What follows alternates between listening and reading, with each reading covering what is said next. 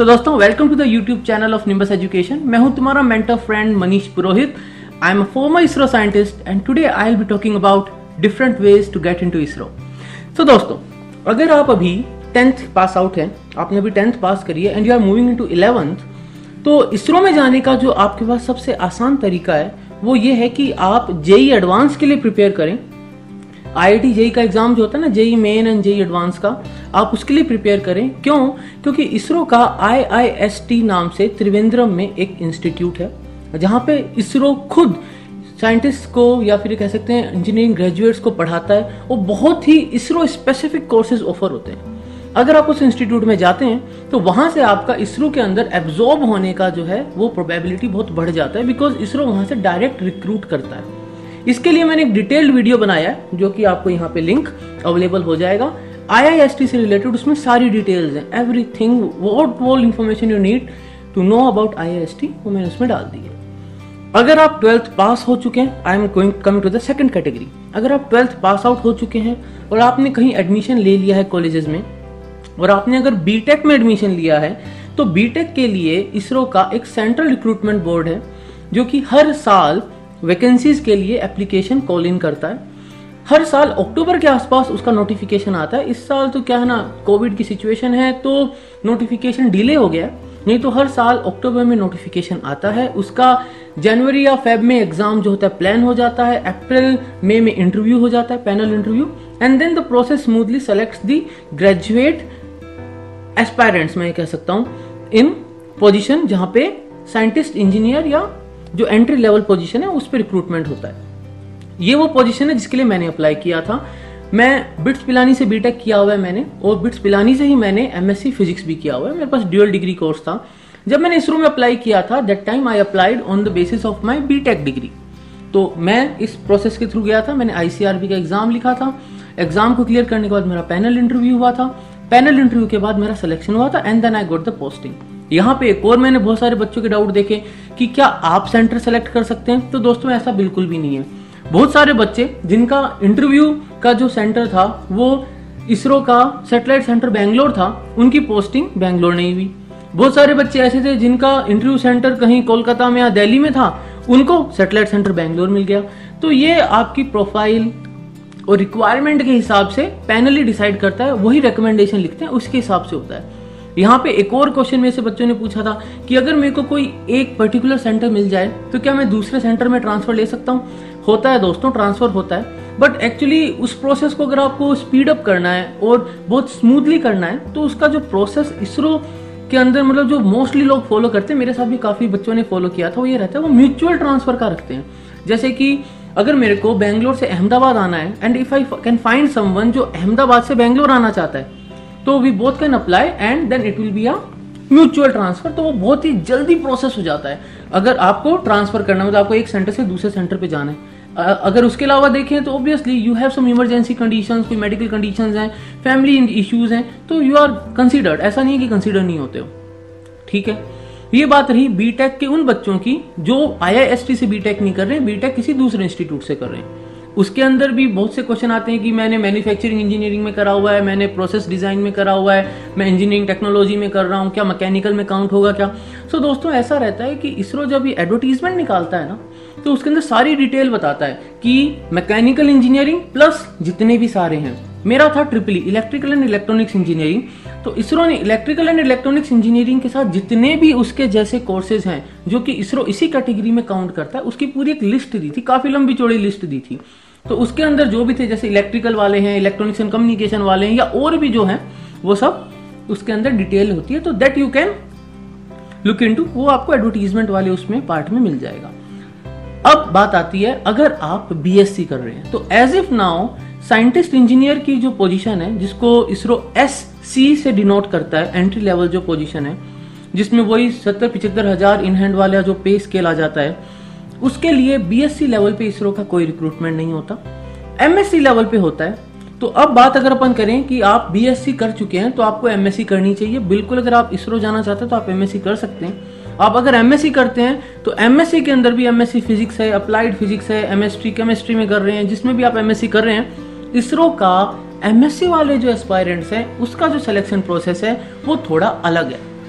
In the sense आईसीआरबी का जो BTech के बच्चों का सिलेक्शन प्रोसेस है उसमें वो हर साल मान लीजिए जैसे 100, 150, 200 ऐसी पोस्ट के लिए वो पैन इंडिया जो है एडवर्टीजमेंट करते हैं।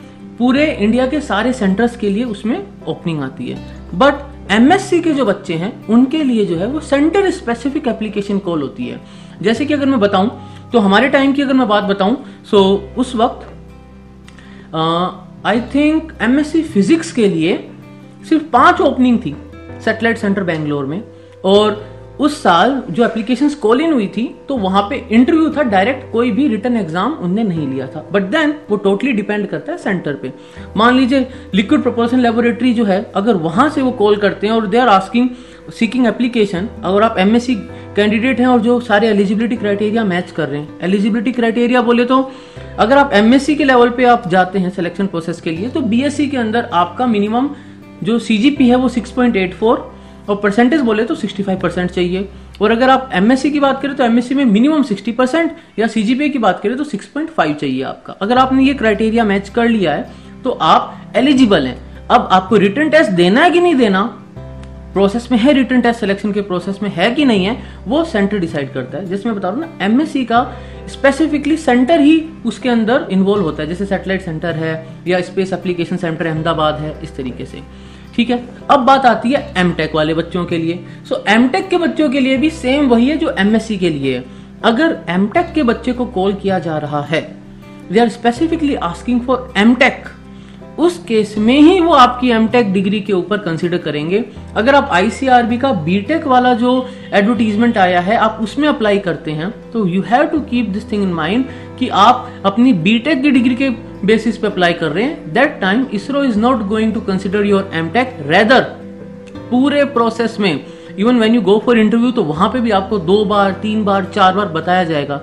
जैसे कि मैं बताऊँ तो जब मैं इंटरव्यू के लिए गया तो मेरे को क्लियरली बुला के, बिठा के बताया गया कि देखो बेटा, ऐसा है, तुम बीटेक वाले प्रोसेस में आए हो तो तुम्हारी एमएससी की जो डिग्री है, वो कंसीडर नहीं होगी. तो बात सिंपल थी, मैं बीटेक के बेसिस पे गया था वहाँ पे जॉब के लिए तो मैंने बीटेक के बेसिस पे अप्लाई किया था। तो अगर मैं एक एमटेक एस्पायरेंट हूँ या मैं एक एमएससी एस्पायरेंट हूँ और मैंने बीटेक कर रखा जैसे मैंने करा हुआ था तो आप जब आईसीआरबी में अप्लाई करेंगे तो अगर आप बीटेक के लिए अप्लाई कर रहे हैं तो आपकी एमटेक की डिग्री काउंट नहीं होगी। बट अगर आप एमटेक के लिए ही जा रहे हैं तो फिर they are going to look at your MTech degree जैसे कि मान लो सेटेलाइट सेंटर है, जो बेंगलोर का उसमें एमटेक की ओपनिंग है। सो ओपनिंग आएगी तो जैसे ऐसे नहीं आती कि 50 ओपनिंग आ गई 70 ओपनिंग आ गई, हो सकता है दो, तीन, पाँच। That depends on the project requirement और प्रोजेक्ट स्पेसिफिक होती है, बहुत स्पेसिफिक रोल के लिए होती है वो। उसके अंदर क्या होगा? इन दैट केस अगेन वही बात है रिटर्न होगा या इंटरव्यू होगा या दोनों होंगे, वो सेंटर डिसाइड करेगा। क्राइटेरिया क्या है? अगर आप एम के बेसिस पे जा रहे हैं तो वही क्राइटेरिया आपका बी में 6.84 या 65 परसेंट होना चाहिए। और एम टेक में आपका 60 परसेंट या 6.5 सीजीपी होना चाहिए। यहाँ पे मैं एक और बात बता दूँ कि कुछ बच्चे जो हैं जो एमबीए करके मतलब already they have done their M और तैयार हैं, अगर वो इसरो में जाना चाहें तो कभी कभी इसरो में एमबीए खासकर ह्यूमन रिसोर्स वाला जो पार्ट होता है एमबीए का, उसके अंदर भी ओपनिंग्स आती है और वो भी सेंटर स्पेसिफिक ही होती है, मैं जो बोलूँगा। तो ये थी दोस्तों कुछ तरीके इसरो के अंदर जाने के।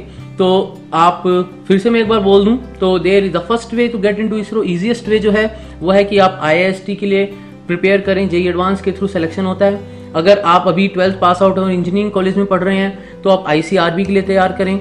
आईसीआरबी जो है, उसका जो एग्ज़ाम है, मान लीजिए गेट लेवल का एग्ज़ाम होता है तो आप अपने पर्टिकुलर कोर्स को जो गेट के लिए तो वैसे भी पढ़ ही रहे हैं तो उसको प्रिपेयर करेंगे तो you will be find it easy to crack the interview and the written test अगर आप एमएससी कर रहे हैं। तो एमएससी करने वाले बच्चों के लिए मैंने बताया कि एमएससी की स्पेसिफिक रिक्वायरमेंट आती है। खूब सारी ओपनिंग नहीं होती। रिटर्न टेस्ट होगा कि नहीं होगा सेंटर डिसाइड करता है और हो सकता है रिटर्न टेस्ट हो हो सकता है डायरेक्ट इंटरव्यू के लिए कॉल कर लें।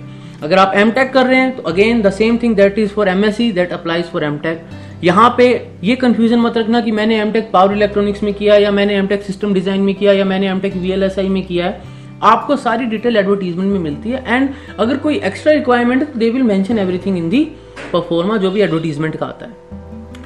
अब एक चीज़ जो मैं अपनी तरफ़ से बताना चाहता हूँ। मान लो, जैसे मेरे साथ की मैं बात बताता हूँ तो जब हमने इसरो ज्वाइन किया था तो हमारे पास एक ऑप्शन आया था कि भाई, अगर आप एमटेक करना चाहते हैं और आप एमटेक करते हैं आफ्टर गेटिंग इनटू इसरो और आप अपना एम कंप्लीट करके आते हैं, और इसरो के साथ आप वो एक एमओयू जो रहता है, जिस भी इंस्टीट्यूट का, उस इंस्टीट्यूट से कर रहे हैं तो एक बेनिफिट मिलता है कि आप प्रमोशन के लिए जल्दी कॉल हो जाते हो। एक बेनिफिट रहता है कि भाई आपने अगर एमटेक इसरो में आने के बाद किया तो आपको प्रमोशन के लिए जल्दी कॉल हो जाएगा। आप इसरो में आने के बाद पीएचडी के लिए जाते हो, क्योंकि इसरो का पीएचडी के लिए टाइप है अच्छे अच्छे इंस्टीट्यूट्स के साथ तो आपका जो प्रमोशन वाला टाइम आता है, तब आपको एक एक्स्ट्रा एज मिल जाती है, एक एडवांटेज मिल जाती है। मान लो अपने पीएचडी के लिए अप्लाई करा, इसरो में जाने के बाद आपका सिलेक्शन हो गया तो जब आप पीएचडी के लिए जाएँगे तो बकायदा पूरे दो साल का जो कोर्स वर्क होता है पीएचडी वाले बच्चों का, उसके लिए पूरा टाइम देता है ISRO. You can easily apply for P H D go for the course work अपना कोर्स वर्क अच्छे से कर सकते हैं। Then you can come back आप इसरो में वापस आ सकते हैं और अपनी रिसर्च का पी एच डी का जो भी काम है थीसिस का काम आप कंटिन्यू कर सकते हैं। ठीक है? तो ये कुछ बातें जो मेरे को आप सभी के साथ शेयर करनी थी। क्यों? क्योंकि बहुत सारे सवाल आ रहे थे। मैं सोचा कि क्यों ना एक वीडियो के फॉर्मेट में सबको बता दूँ।